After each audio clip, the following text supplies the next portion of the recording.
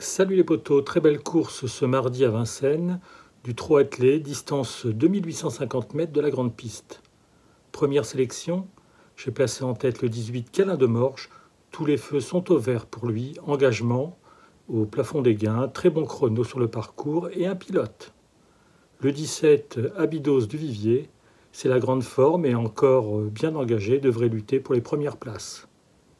Le 5 Colt des Essarts, devra gérer son avance initiale afin de conserver une belle place sur le podium.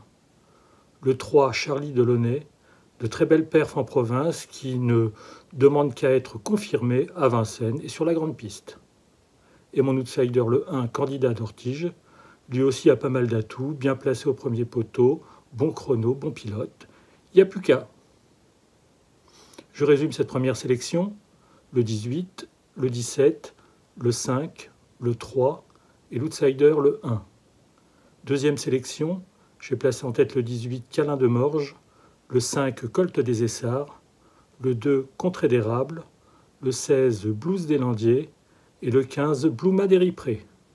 Voilà, à vous de jouer maintenant et je vous dis bonne nuit et à demain pour le coup de cœur et la dernière minute.